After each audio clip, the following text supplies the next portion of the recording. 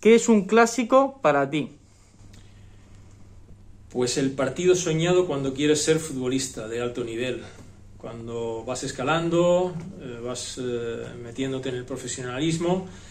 Eh, a nivel de clubes es el, es el partido que estás deseando jugar, porque es como una final del mundo, pero con equipos en vez de con selección.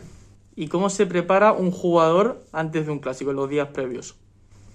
Con una mentalidad muy agresiva, intentando estar relajado, porque es un partido que te compromete en todos los sentidos por la responsabilidad, por todo el post partido, eh, todas estas cosas que van a venir después de, haberse jugado.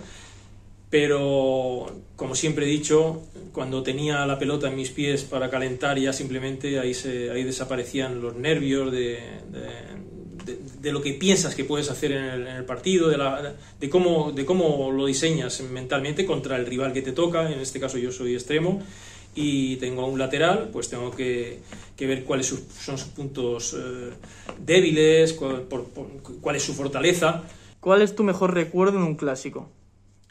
El mejor recuerdo, quizá el 0-3, cuando vino Terry Venables, que hicimos un partido, no voy a decir como el 2-6, ¿eh? este mítico, pero hicimos un 0-3 con una, una superioridad enorme en el terreno de juego, más allá del resultado. Entonces, aquella sensación de poderío que demostramos, y me parece que fue el primero o el segundo partido de la, de la temporada con, con el entrenador Terry Venables.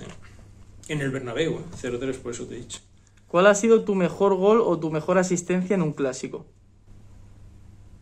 Bueno, gol con los pies es como facturaba normalmente cuando, bueno, yo era un creador de jugadas para mis delanteros centros, pero también he hecho de vez en cuando goles. Y al Real Madrid recuerdo, creo que estaba ya Paquito Bullo en la portería y en un 2-0 con la pierna izquierda, pero eso fue en el Camp Nou, casi al borde del área, y ahí hice el primero, el segundo gol me parece fue, sí, 2-0.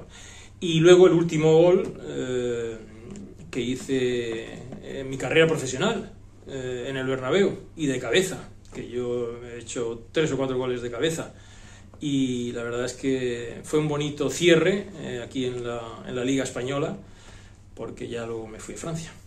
Una anécdota curiosa o graciosa que recuerdes de un clásico.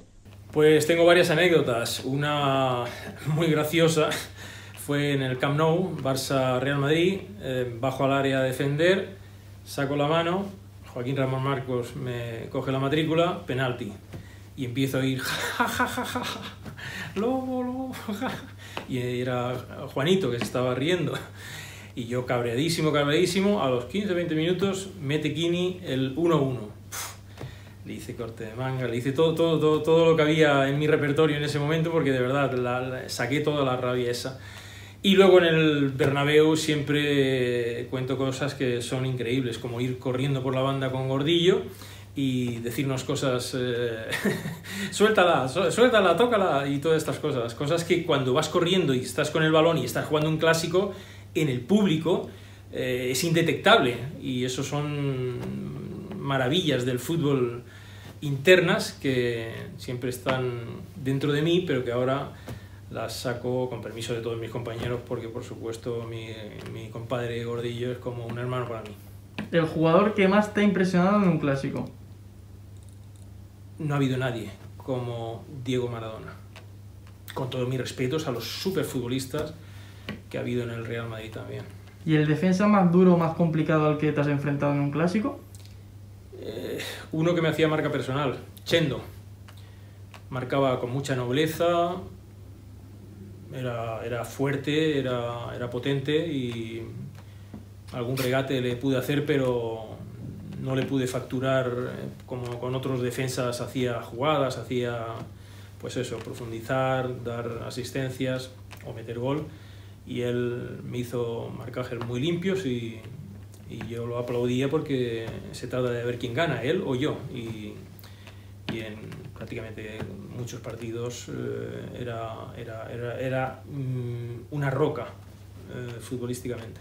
Y ahora para terminar, Lobo, ya sabemos que a ti no te gusta dar porras, pero ¿cómo llegan eh, al clásico actual de la Supercopa Barça y Real Madrid?